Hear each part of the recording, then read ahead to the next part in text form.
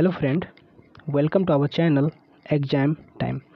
Friend, आज हम लोग फिजिक्स का दूसरा टॉपिक, द्रव्यमान, वज़न और घनत्व को कवर करेंगे। इसमें द्रव्यमान, वज़न और घनत्व के इम्पोर्टेंट क्वेश्चन का संग्रह है, जो पीडीएफ मैंने बनाया है। आप इन्हें ज़रूर पूरा देखेंगे। तो फ्रेंड, मैं आशा करता हूँ कि यह जो पीडीएफ होगा, आपके लिए बहुत ही इम्पोर्टेंट होगा। तो फ्रेंड, इस वीडियो को आप ज़रूर देखें और पूरा देखें। और फ्रेंड मैं वीडियो स्टार्ट करने के पहले आप लोगों को फिर से कहना चाहूँगा कि अगर अभी तक आपने हमारे चैनल एग्ज़ाम टाइम को सब्सक्राइब नहीं किया है तो अभी सब्सक्राइब कर लें क्योंकि इस पर आपको बहुत ही अच्छी और शिक्षाप्रद वीडियो देखने को मिलेंगी। तो फ्रेंड ये फिजिक्स का दूसरा टॉपिक द्रव्यमान, वज़न और घनत्व को शुरू करते हैं। और फ्रेंड इससे पहले एक बात और बोलना चाहूँगा कि उठिए, जागिए और लक्ष्य की ओर भागिए। सफलता झक मार के आपके पीछे आएगी। तो फ्रेंड इसी लाइन के साथ मैं ये वीडियो शुरू करने जा रहा हूँ। तो फ्रेंड इन्जॉय कीजिए। तो सबसे पहले फ्रेंड द्रव्यमान की बात करेंगे हम लोग। द्रव्यमान देखिए, शरीर का द्रव्यमान इसमें निहित पदार्थ की मात्रा होती है। शरीर का जो द्रव्यमान होता है, इसमें निहित पदार्थ की मात्रा होती है। यह एक स्केलर मात्रा है। इसमें दो तरह की बात आई फ्रेंड द्रव्यमान। और एक आया स्केलर। तो फ्रेंड, स्केलर क्या होता है और वेक्टर क्या होता है? मैं बता रहा हूँ तो पूरी डिटेल के साथ बताऊँगा फ्रेंड। अब वीडियो छोड़ के कहीं नहीं जाइएगा। बस एंजॉय कीजिए। Scalar and vector. स्केलर क्या होता है? ये अदिश होता है। वेक्टर क्या होता है? ये सदिश होता है। हिंदी में इसे अदिश और सदिश कहते हैं। स्केलर यानी अदिश, वेक्टर यानी सदिश। तो फ्रेंड सबसे पहले इस चीज़ को ठीक से समझना ज़रूरी है। इसे जब तक आप समझ नहीं सकते हैं, तब तक आप आगे नहीं बढ़ सकते। तो फ्रेंड सदिश क्या होता है कि इसमें परिमाण और दिशा दोनों होती है। जैसे मान के चलिए, मैंने दूध खरीदा। कितना खरीदा? दस किलो, एक किलो, दो किलो। तो केजी कहने से हमें सिर्फ़ परिमाण दिखाई दे रहा है। हम ये तो नहीं बोल सकते कि मैंने दूध खरीदा तो कितना खरीदा? तो दस किलो। उत्तर पश्चिम, ऐसा बोला जा सकता है क्या? बिल्कुल नहीं बोला जा सकता है। लेकिन अगर मान के चलिए मैंने कोई डिस्टेंस ट्रेवल किया, मैंने कोई दूरी ट्रेवल की तो दूरी ट्रेवल की तो इसमें तो दिशा हो सकती है कि मैंने उत्तर पश्चिम में दस किलोमीटर चला पूर्व पश्चिम में जो भी है, उत्तर दक्षिण, किसी भी दिशा में मैंने दस किलोमीटर चला। तो इस तरह से आप समझ सकते हैं कि इसमें परिमाण और दिशा दोनों है। तो स्केलर क्या होता है फ्रेंड? एक बार फिर से। स्केलर क्या होता है? तो स्केलर अदिश होता है। और अदिश क्या होता है जिसमें केवल परिमाण हो, दिशा नहीं हो? इसे हम स्केलर कहते हैं, यानी कि अदिश कहते हैं। और सदिश किसे कहते हैं? जिसमें परिमाण और दिशा दोनों हो। तो फ्रेंड आशा करता हूँ ये समझ में आ गया होगा। तो आगे बढ़ते हैं फ्रेंड। इसकी एसआई जो एस, इसकी एसआई इकाई जो होती है एसआई यूनिट जो होती है वो किलोग्राम होती है। द्रव्यमान की एसआई यूनिट होती है के किलोग्राम में इसे हम लिखते हैं। अब देखिए फ्रेंड अब जो बात मैं बताने जा रहा हूँ वो बहुत इंपॉर्टेंट है अब इसे समझिएगा। शरीर का द्रव्यमान स्थान से स्थानांतरित नहीं होता है और स्थिर रहता है। शरीर का जो द्रव्यमान है ये कभी भी स्थानांतरित नहीं होता ये स्थिर होता है ये घटता बढ़ता नहीं है। इस लाइन का मतलब समझिए फ्रेंड इस लाइन का आपको मतलब समझना है कि मान के चलिए कि मैं पृथ्वी पे हूँ और अभी चंद्रमा के लिए जाने की सोच रहा हूँ, जा तो नहीं सकता, चंद्रमा पर जाने की सोच रहा हूँ। अब मान के चलिए मैं किसी विधि से चला गया वहाँ तो क्या मेरे शरीर का द्रव्यमान चेंज होगा? तो इसका जवाब है बिल्कुल नहीं। मेरे शरीर का द्रव्यमान चेंज नहीं होगा। वो स्थिर होगा। मैं चाहे चंद्र चंद्रमा पे चला जाऊँ या जहाँ कभी नहीं जा पाए, पहुँचे लोग जैसे सूर्य या सूर्य पे चला जाऊँ। द्रव्यमान चेंज नहीं होगा, बिल्कुल नहीं। स्थान चेंज होने से द्रव्यमान चेंज नहीं होता, ये इसका अर्थ हुआ। तो फ्रेंड, अब देखिए, अगला जो टॉपिक है, उसको देखिएगा। आगे क्या है? वज़न, वेट। तो शरीर का वज़न वह बल है शरीर का वज़न वह बल है जिसके साथ यह पृथ्वी के केंद्र की तरफ़ आकर्षित होती है। तो फ्रेंड वज़न क्या होता है? यानी कि वेट क्या होता है? तो वज़न जो है, एक प्रकार का फोर्स है, एक प्रकार का बल है, जिसके कारण कि हमें ऐसा प्रतीत होता है कि हम जो है किसकी तरफ़ आकर्षित हो रहे हैं? केंद्र की ओर। क्योंकि हम अगर मान के चलिए पृथ्वी पर खड़े हैं तो हमें लगता है कि मेरा कुछ वेट है, कुछ वज़न है। तो वो वज़न जो है, लगता है ऐसा कि हमें केंद्र की ओर आकर्षित कर रही है। तो ये जो होता है, किसके कारण होता है? बल के कारण होता है, जिसे हम इंग्लिश में फोर्स कहते हैं। और इसे हम सूचित किससे करते हैं? एप से, यानी कि डब्लू से। और एफ़ भी लिखा जाता है फोर्स के लिए एफ़ बराबर एम ए जो फॉर्मूला होता है। अब देखिए फ्रेंड यहाँ पे, अब इसमें गौर करने वाली बात क्या है कि शरीर का वज़न जो है वह स्थिर नहीं है, या स्थान से स्थान पर बदल जाता है। आपने इस लाइन को समझा? अब इस लाइन को समझिए, दोनों एक दूसरे से रिलेटिव है फ्रेंड द्रव्यमान कभी शरीर का स्थानांतरित नहीं होता, द्रव्यमान बदलता नहीं है, स्थान चेंज करने से, लेकिन वज़न स्थिर नहीं होता है, या स्थान से स्थान पर बदल जाता है। इसका अर्थ क्या हुआ फ्रेंड मैं अगर पृथ्वी पर साठ किलो का हूँ मैं अगर पृथ्वी पर साठ किलो का हूँ, अगर मैं चंद्रमा पे चला जाऊँ तो स्थान चेंज हो गया। स्थान चेंज होने से क्या होता है कि हमारा वज़न जो है, वो बिल्कुल चेंज हो जाएगा। तो इसके बारे में आगे बताऊँगा कितना चेंज होगा, ये सारी बातें हम लोग पढ़ेंगे आगे। अब देखिए फ्रेंड, वज़न के बारे में महत्वपूर्ण तथ्य हम लोग जानेंगे। वज़न के बारे में महत्वपूर्ण तथ्य। यानी वेट जो है, कैसे कैसे काम करता है? वेट के बारे में पढ़ेंगे। तो फ्रेंड मान के चलिए एक सिंपल लिफ्ट तो वो होता है ना फ्रेंड कि लिफ्ट तो एक बहाना है। हम लोग समझने की कोशिश तो कर रहे हैं वज़न को। वास्तविक में हम लोग वज़न को समझने की कोशिश कर रहे हैं। अब चाहे आप लिफ्ट में चलिए, या तो फिर आप कुछ और साधन लगा लीजिए ऊपर जाने के लिए, या नीचे आने के लिए। तो फ्रेंड लिफ्ट में एक शरीर का वज़न। आपने कभी लिफ्ट में जो है ऊपर नीचे किया होगा ट्रेवल किया होगा लिफ्ट में तो उसमें क्या होता है देखिए, पहला टॉपिक है, जब लिफ्ट आराम में होती है या एक समान गति में वसंत संतुलन, थोड़ा सा ये शब्द यहाँ पर भाष्ट लग रहा है, वसंत संतुलन, यानी स्पष्ट वज़न, देखिए यहाँ क्लियर कर दिया गया, में दर्ज वज़न, शरीर के वास्तविक वज़न डब्लू बराबर एम के बराबर होता है। तो फ्रेंड देखिए इसमें क्या होता है कि जब हम लिफ्ट आराम आराम में होती है, जब लिफ्ट आराम में होती है मतलब कि बिल्कुल रेस्ट में होती है, उस समय जो वास्तविक वज़न होता है डब्लू बराबर एम जी एम क्या है फ्रेंड मास है हमारे बॉडी का। जी जी क्या है? ग्रेविटेशनल फोर्स जो कि कितना होता है? नाइन पॉइंट एट अब देखिए फ्रेंड इसके बराबर होता है जब हम आराम में होते हैं। अब इसमें आगे कंडीशन देखिएगा, पहला कंडीशन सॉरी फ्रेंड दूसरा कंडीशन पहला कंडीशन तो हमने देख लिया जब वो आराम में है। लेकिन, अब आप सोचिए कि लिफ्ट में क्या क्या हो सकता है। या तो हम आराम से रह सकते हैं। या तो लिफ्ट ऊपर जाती हो, या तो लिफ्ट नीचे आती हो। ये तीन कंडीशन बन सकता है। तो फ्रेंड अब इन्हीं तीनों पर बारी बारी से हम लोग विचार करेंगे। और फ्रेंड एक और कंडीशन होगा। जब हम ये मानेंगे कि लिफ्ट नीचे आ रही थी और उसकी रस्सी टूट गई, या उसकी, उसका फीता टूट गया।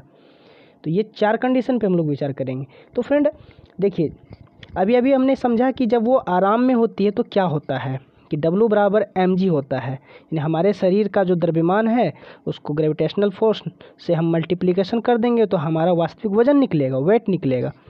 लेकिन अब अब देखिए यहाँ पे कंडीशन जब लिफ्ट ऊपर की ओर बढ़ती है तो वसंत संतुलन में दर्ज वज़न शरीर के वास्तविक वज़न से अधिक होता है। आप इसके वर्ड पे नहीं जाइएगा फ्रेंड वसंत संतुलन, ठीक है? यानी इसका स्पष्ट वज़न एक तरह से आप याद रखिए। ऊपर की ओर जाएँगे अगर हम तो ऐसा हमको प्रतीत होगा कि जो हमारे शरीर का वज़न है, वो काफ़ी बढ़ गया है। तो उस समय डब्लू का फार्मूला वेट का फार्मूला क्या हो जाएगा? M into g plus a a क्या है फ्रेंड ए है हमारा एक्सलेशन जिसे कि हम कहते हैं त्वरण। ये क्या है? एक्सलेशन जिसे हम कहते हैं त्वरण। अब देखिए, ये तो हुआ पहला कंडीशन आपने कभी लिफ्ट पे ट्रेवल किया होगा लिफ्ट पे चढ़ने पे ऐसा लगता है, जब लिफ्ट ऊपर की हो जाती है तो ऐसा लगता है कि हम नीचे की ओर एक दबाव फील कर रहे हैं। आपने भी किया होगा। तो इस तरह से हमको क्या लगता है कि हमारा वेट अधिक हो गया है। लेकिन, अब दूसरा कंडीशन देखिए। जब लिफ्ट नीचे की ओर जाती है तो जो वास्तविक संतुलन होता है, वो शरीर के वज़न से कम होता है। शरीर के वज़न से कम होता है। यानी कि इसमें जो होता है हमारा त्वरण, वो निगेटिव ऋणात्मक त्वरण यहाँ पे लगता है। देखिए फ्रेंड यहाँ पे आप माइनस ए देख रहे हैं ना? माइनस से यानी ऋणात्मक त्वरण यहाँ पे दिखाई देता है। तो इसका फॉर्मूला हो जाता है डब्ल्यू इक्वल टू एम यानी कि मास इंटू जी माइनस ए आप फ्रेंड इसको याद रखिएगा, ये टर्म को याद रखिएगा। डब्लू वेट हुआ एम हो गया आपका, मैं ठीक से बता रहा हूँ डब्लू आपका वेट हो गया। उसके बाद एम जो है आपका मास हो गया। उसके बाद जी जो है ग्रेविटेशनल फोर्स हो गया नाइन पॉइंट एट और ए जो है एक्सलरेशन हो गया। तो फ्रेंड आप इसको, इस टर्म को याद रखिएगा। तो जब हम नीचे की ओर आएँगे तो क्या हो जाएगा? हमें ऐसा लगेगा कि हमारा वास्तविक वज़न बिल्कुल ही घट चुका है। ऐसा लगेगा। अब मान के चलिए फ्रेंड कि हम लोग नीचे आ रहे थे। उसी दौरान लिफ्ट की बेल्ट टूट गई। लिफ्ट की बेल्ट टूट गई तो हम कैसा फील करेंगे? ये चीज़ यहाँ पे अब हम पढ़ेंगे।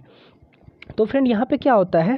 जब लिफ्ट की बेल्ट टूट जाती है तो वहाँ ना तो धनात्मक त्वरण लगता है, ना ही ऋणात्मक, किसी भी प्रकार का नहीं। तो वो जो त्वरण वहाँ पे उस समय होता है, त्वरण यानी कि ए एक्सलेशन वो एक्सलेशन ग्रेविटेशनल फोर्स के, यानी गुरुत्वीय त्वरण के बराबर हो जाता है। वो गुरुत्वीय त्वरण के, यानी कि एक्सलेशन जो हो जाता है, वो ग्रेविटेशनल फोर्स के बराबर हो जाता है, यानी ए इक्वल टू जी अब आप मान के चलिए, इस ए के बदले में अगर हम यहाँ पर इस ए के बदले में अगर हम यहाँ पे जी रख दें, जैसा कि यहाँ रखा गया है तो क्या हो जाएगा? G minus g equal to zero यानी कि वेट हमारे शरीर का जो वेट होगा डब्लू वो हम कैसा फील करेंगे? ज़ीरो यानी ऐसा लगेगा कि हमारे शरीर का कोई भार ही नहीं है। कहने का मतलब है भारहीनता। हमें ऐसा लगेगा कि भार है ही नहीं शरीर का कुछ। भार हो जाएगा ज़ीरो तो ऐसा होता है फ्रेंड तो आप याद रखिएगा, ऊपर की ओर जाने पर फॉर्मूला में प्लस ए हो जाएगा, नीचे की ओर जाने पर माइनस ए हो जाएगा, ऋणात्मक त्वरण. और अगर बेल्ट टूट गई या स्व बेल्ट टूटने का मतलब समझ लीजिए फ्रेंड कि वो स्वतंत्र रूप से गिर रही है, कोई त्वरण नहीं लग रहा है. सबसे बड़ी बात, इसे ही समझना है फ्रेंड पढ़ तो आप भी सकते हैं पीडीएफ को. लेकिन मेरा उद्देश्य है सब कुछ समझाते हुए पढ़ाना. तो फ्रेंड आगे बढ़ते हैं. चंद्रमा पर एक शरीर का वज़न। अब हम लोग बात करेंगे चंद्रमा पर एक शरीर का वज़न। अभी अभी हमने बोला था कि मैं अगर पृथ्वी पर साठ के का हूँ, चंद्रमा पर जाऊँगा तो ज़रूर मेरा वज़न वहाँ घट जाएगा। वेट घटेगा, द्रव्यमान नहीं, ये बात भी मैंने बताई थी आपको। तो फ्रेंड वही बात यहाँ पे आई हुई है। देखिए, इसको ठीक से पढ़ते हैं। चूँकि चंद्रमा का द्रव्यमान और और त्रिज्या पृथ्वी से कम होता है पृथ्वी से चंद्रमा की त्रिज्या जो होती है रेडियस वो कम होता है और मास भी कम होता है, द्रव्यमान भी कम होता है। इसलिए चंद्रमा पर गुरुत्वाकर्षण बल भी पृथ्वी की तुलना में कम है। ग्रेविटेशनल फोर्स भी कम है। ग्रेविटेशनल फोर्स कम क्यों है? इसका कारण भी यहाँ दिया हुआ है, क्योंकि रेडियस कम है, क्योंकि मास कम है। चंद्रमा की सतह पर यह मूल्य जो होता है g by six g by six कहने का मतलब है, ये जी था अर्थ पे, हमारी पृथ्वी पे। और जब हम चंद्रमा पे चले जाएँगे तो हो जाएगा जी बाय सिक्स मतलब जी का छठा भाग। तो अभी अभी मैंने बोला था कि अभी अगर मैं पृथ्वी पर साठ के जी का हूँ तो चंद्रमा पर कितने का हो जाऊँगा? तो मैंने अभी बताया कि इसका छठा भाग ना, आप देखिए छः से भाग दे दीजिए, कितना हो गया? दस किलो का हो जाऊँगा मैं वहाँ। मतलब मेरा वेट घटेगा। लेकिन शरीर का जो मास है, द्रव्यमान है वो वही रहेगा जो पहले था। बस यही बात मुझे समझानी थी। तो फ्रेंड आगे बढ़ते हैं। उम्मीद है कि आपको ये बात समझ में आ गई होगी। अब देखिए, घनत्व है। डेंसिटी जिसे हम कहते हैं इंग्लिश में। पानी का घनत्व होता है एक हज़ार किलो पर मीटर क्यूब। एक हज़ार के जी पर मीटर क्यूब। यानी एक मीटर क्यूब पर इसका घनत्व हो जाएगा एक हज़ार किलो। अब देखिए फ्रेंड पानी का घनत्व। घनत्व मतलब एक तरह से आप घनापन समझिए। घनत्व मतलब एक तरह से घनापन। शब्दों पे मत जाइए, शब्दों के अर्थ पे आइए तो पढ़ने में मज़ा आएगा। पानी का घनत्व चार डिग्री सेंटीग्रेड पर अधिकतम होता है। मतलब सबसे अधिक। कितने पर? चार डिग्री सेंटीग्रेड पर। बहुत सारे एग्ज़ाम्स में पूछे हुए क्वेश्चन है। वी वी आई इसको आप कर लीजिए, आप इसको याद रखिए। इसे कभी नहीं भूलिएगा। चार डिग्री सेंटीग्रेड पर पानी का घनत्व सर्वाधिक होता है। ठीक है? अब देखिए फ्रेंड, एक मीटर है, जिसका नाम है हाइड्रोमीटर। यह तरल की घनत्व या सापेक्ष घनत्व को मापने मापने के लिए उपयोग किया जाने वाला एक उपकरण है। यानी कि यह किसी भी तरल का घनत्व माप सकता है या सापेक्ष, यानी रिलेटिव डेंसिटी इसको इंग्लिश में कहेंगे। रिलेटिव डेंसिटी को माप सकता है। हाइड्रोमीटर। और देखिए, इसका कार्य जो है, यानी हाइड्रोमीटर का जो कार्य है, वो किस पे आधारित है? तो ये है फ्लोटेशन के कानून पर आधारित। यानी कि it depends on flotation rules. ये फ्लोटेशन रूल्स पे डिपेंड करता है, फ्रेंड। कौन? हाइड्रोमीटर। ठीक है, फ्रेंड? ये कुछ इम्पोर्टेंट फैक्ट्स हैं, इन्हें आपको याद रखना है। उसके बाद फ्रेंड आगे बढ़ते हैं। घनत्व के बारे में महत्वपूर्ण तथ्य। अब देखिए, घनत्व हमारे दैनिक जीवन में हमें कैसे इफ़ेक्ट डालता है, ये चीज़ हम समझते हैं।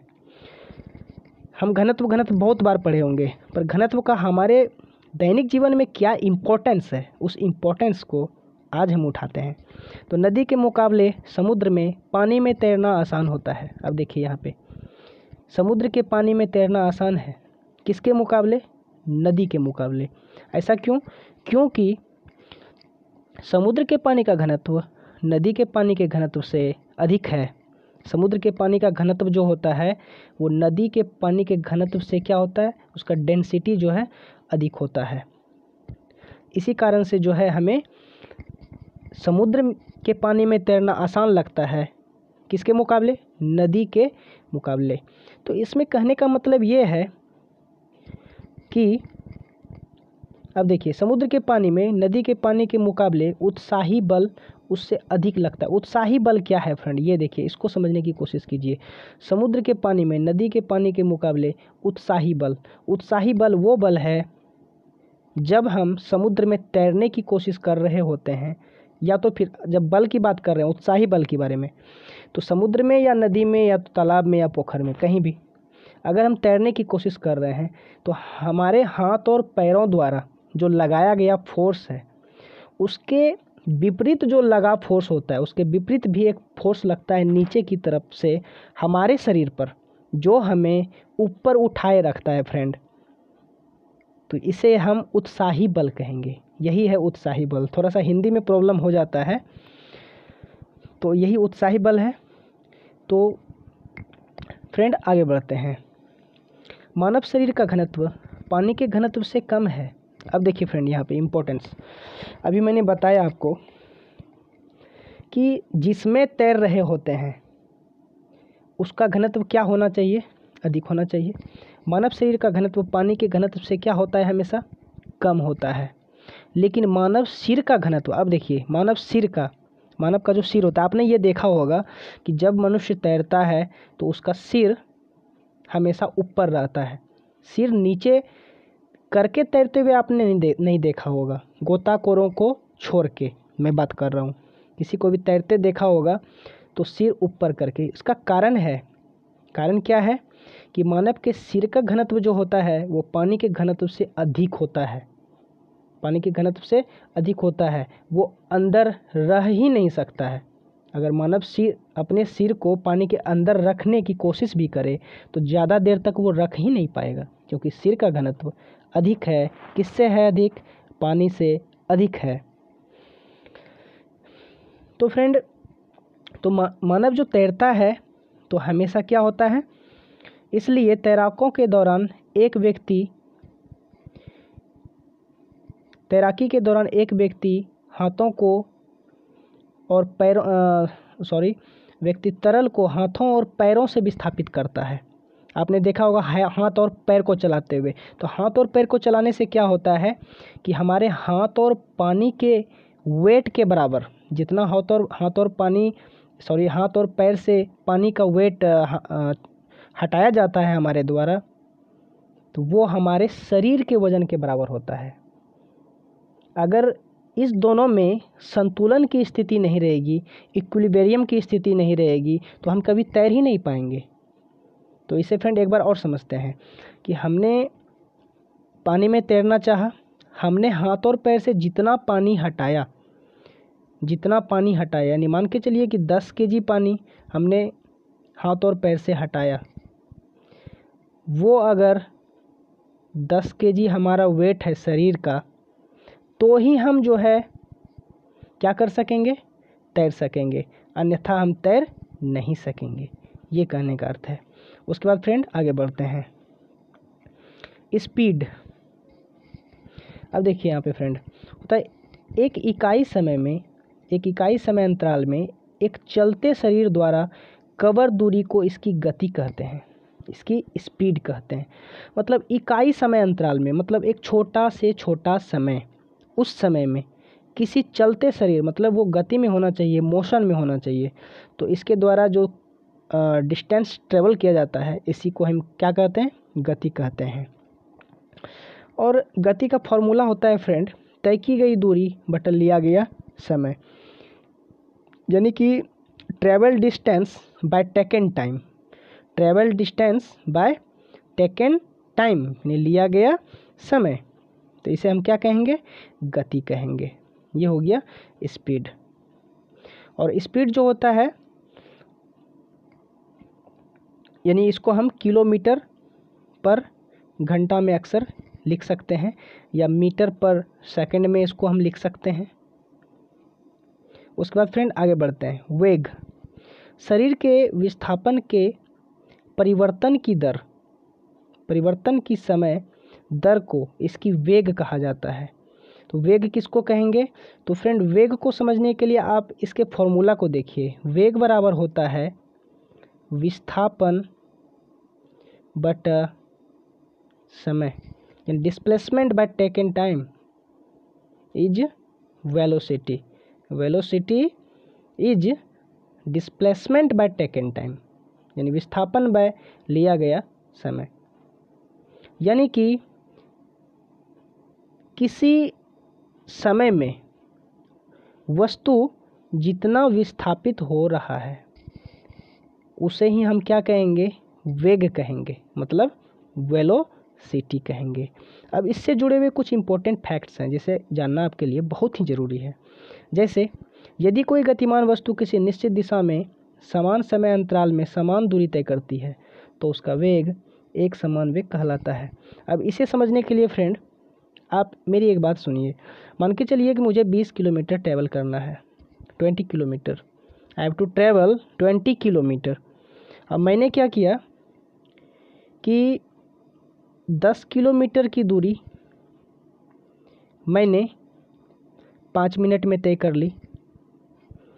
और फिर दस किलोमीटर की दूरी मैंने पाँच मिनट में तय कर ली। अब देखिए सेम डिस्टेंस सेम टाइम कहने का मतलब है, एक बार अब यहाँ परिभाषा पे आते हैं। यदि कोई गतिमान वस्तु किसी निश्चित दिशा में समान समय अंतराल, देखिए यहाँ पे समान समय है ना, पाँच मिनट पाँच मिनट, समान समय अंतराल में समान दूरी तय करता है। मतलब ये भी दस किलोमीटर, ये भी दस किलोमीटर। मान के चलता हूँ, राम यहाँ है, यहाँ पर श्याम है। तो राम भी दस किलोमीटर चल रहा है। राम भी दस किलोमीटर चल रहा है। श्याम भी दस किलोमीटर चल रहा है। इसको भी पाँच मिनट लग रहे हैं। इसको भी पाँच मिनट लग रहे हैं। तो इसमें हमें क्या दिख रहा है? समय अंतराल सेम है, डिस्टेंस सेम है तो इसे कहेंगे एक समान वेग या यूनिफॉर्म वेलोसिटी। तो उम्मीद करता हूँ समझ में आया होगा आगे बढ़ते हैं। यदि कोई गतिमान वस्तु किसी निश्चित दिशा में समय आ, समान समय अंतराल में असमान दूरी तय करती है अब मान के चलिए फ्रेंड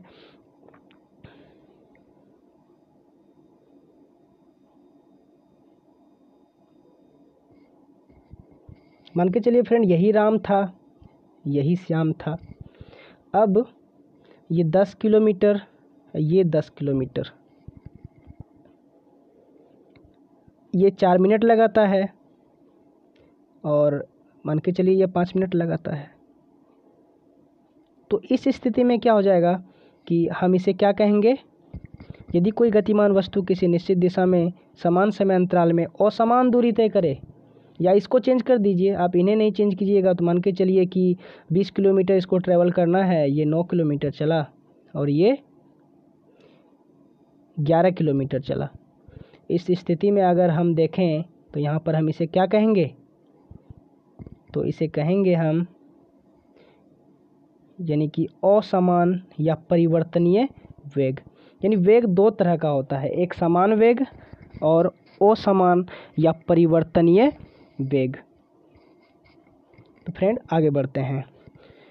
इससे पहले फ्रेंड मैं एक बार बताना चाहूँगा कि अगर आपने अभी तक हमारा चैनल सब्सक्राइब नहीं किया है तो निश्चित तौर पे सब्सक्राइब कर लें। चूँकि ये हमारा नया चैनल है, आने वाले समय में मैं बहुत ही अच्छी अच्छी वीडियो आपके लिए लाऊँगा और शिक्षाप्रद लाऊँगा।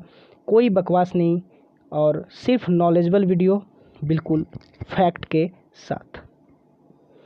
उसके बाद फ्रेंड देखिए त्वरण। इसको हम कहते हैं एक्सलरेशन इसको हम कहते हैं एक्सलरेशन यानी कि त्वरण। त्वरण क्या होता है? त्वरण को सबसे पहले हम सूचित किससे कहते हैं? ए से, क्योंकि एक्सलेशन एक्सलेशन का शुरू वाला वर्ड होता है ए अब देखिए फ्रेंड शरीर के वेग के परिवर्तन के समय दर को क्या कहते हैं? त्वरण कहते हैं। यानी वेग में परिवर्तन के समय के दर को त्वरण कहते हैं। अब देखिए, इसको अच्छी तरह से समझने के लिए आप इस फॉर्मूला को देखिए। त्वरण बराबर होता है वेग परिवर्तन फ्रेंड ये जो मैं लिख रहा हूँ, ये चूँकि हैंड से लिखना, हाथ से लिखना होता है तो थोड़ा सा लिखने में परेशानी होती है, आप समझिए। बाय लिया गया समय। वेग में परिवर्तन बाय लिया गया समय। तो मैं इसे ये बोल सकता हूँ क्या? वेग में परिवर्तन की दर। दर हम कब लगाते हैं? जब हम समय को ऐड करते हैं। तो वेग में परिवर्तन की जो दर होती है, उसे हम त्वरण कहते हैं। अब देखिए फ्रेंड, ये एक वेक्टर है। वेक्टर मैंने बताया था, सदिश को कहा जाता है, जिसमें परिमाण और दिशा दोनों हो।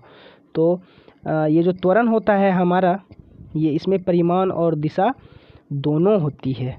अगर हम त्वरण की बात करें तो अगर हम त्वरण के बारे में बोलें तो अगर मैं बोलूँ कि पाँच मीटर पर सेकेंड स्क्वायर अगर मैं ये बोलूँ तो इसमें हमको एक दिशा भी शो करनी होगी परिमाण के साथ साथ यानी पाँच मीटर पर सेकेंड स्क्वायर बोला जाए तो उत्तर पूर्व या दक्षिण पश्चिम, इस तरह से हमको बोलना होगा। तब जाके हम इसे परिभाषित कर सकते हैं, क्योंकि ये एक सदिश है, वेक्टर है, और इसमें परिमाण और दिशा दोनों होती है। समय के तत्काल त्वरण को तत्कालिक त्वरण कहते हैं। तत्काल त्वरण जो होता है, जैसा कि नाम है, तत्काल त्वरण को हम क्या कहेंगे? तत्कालिक त्वरण। जब शरीर का वेग समय के साथ बढ़ जाता है तो इसका त्वरण सकारात्मक होता है। अब देखिए फ्रेंड, जब शरीर का वेग समय के साथ बढ़ जाए, अगर वेग बढ़ जाता है तो इस समय जो त्वरण होगा उसे कहेंगे सकारात्मक त्वरण मान के चलिए फ्रेंड, इसे समझने के लिए मेरी बातों को गौर कीजिएगा। कोई ऑब्जेक्ट है जो एक समान गति के साथ चल रही है, एक समान गति। उस वक्त उसमें कोई त्वरण नहीं है। अब वही ऑब्जेक्ट अब वही ऑब्जेक्ट चलना शुरू किया। पाँच मीटर पर सेकेंड स्क्वायर के साथ, त्वरण के साथ। और इसके वेग में परिवर्तन हो रहा है। पाँच से छः हो रहा है, छः से सात हो रहा है। तो समय के साथ साथ इसका अगर वेग बढ़ रहा है तो इस इस प्रकार के त्वरण को हम क्या कहेंगे? इसे कहेंगे सकारात्मक त्वरण। अब मान के चलिए फ्रेंड, ये कोई ऑब्जेक्ट है, ये ट्रेवल कर रहा है इस दिशा में। यहाँ इसका वेट था, यहाँ इसका, सॉरी, यहाँ इसका त्वरण था पंद्रह मीटर पर सेकेंड स्क्वायर। पंद्रह से ये दस हो गया, दस से ये पाँच मीटर पर सेकेंड स्क्वायर पे आ गया। तो समय के साथ साथ इसका वेलोसिटी घट रहा है। मान के चलिए कि ये चालीस किलोमीटर प्रति घंटा चल रहा था या तीस किलोमीटर प्रति घंटा और उसके बाद यहाँ पे दस किलोमीटर प्रति घंटा। तो इस तरह से हम क्या देख रहे हैं कि जैसे ही वेग घटेगा समय के साथ साथ तो इसमें जो है क्या, कौन सा त्वरण होगा? नकारात्मक त्वरण। और इसे कभी कभी धनात्मक त्वरण और ऋणात्मक त्वरण भी कहते हैं। यहाँ पे लिखा हुआ है, सकारात्मक त्वरण और नकारात्मक त्वरण, लेकिन इसे धनात्मक त्वरण और ऋणात्मक त्वरण भी कहा जाता है। या, इसका एक और नाम है, इसे मंदी, मंदता या मंदन भी कहते हैं। तो मंदन किसे कहते हैं? ऋणात्मक त्वरण को मंदन कहते हैं। याद रखिएगा फ्रेंड, ऋणात्मक त्वरण को मंदन भी कहते हैं। और एक बात और है यदि त्वरण समय के साथ नहीं बदलता है तो यह स्थिर त्वरण कहलाता है। अगर वही त्वरण, वही एक्सलेशन टाइम के अकॉर्डिंग चेंज नहीं हो तो ये कहलाएगा कांस्टेंट एक्सलरेशन यानी कि स्थिर त्वरण। तो फ्रेंड आज के वीडियो में बस इतना ही। हमें उम्मीद है कि मैं अच्छी तरह से आप लोगों को समझाने में सक्षम हूँ। और आपको ये वीडियो समझ में आई होगी, आपको ये टॉपिक समझ में आई होगी। तो फ्रेंड मिलते हैं अगले दिन। फिजिक्स के ही किसी नेक्स्ट टॉपिक के साथ। फिजिक्स का कम से कम दस टॉपिक क्लियर हो जाएगा, यानी दस चैप्टर क्लियर हो जाएगा। उसके बाद मैं किसी और सब्जेक्ट जैसे जैसे कि केमिस्ट्री या तो फिर सोशल साइंस के सब्जेक्ट। यानी कि कहने का मतलब है फ्रेंड कि इस चैनल पे आपको बहुत ही अच्छी अच्छी जानकारियाँ मिलेगी। आप इन्हें लाइक कमेंट और सब्सक्राइब करना न भूलिए। तो एक बार फिर कहूँगा, उठिए, जागिए और लक्ष्य की ओर भागिए। सफलता झक मार के आपके पीछे भागेगी। तो इसी शब्दों के साथ मैं आपसे विदा लेता हूँ। खुश रहिए, मस्त रहिए और आनंद लीजिए अपनी लाइफ का। जय हिंद। जय भारत।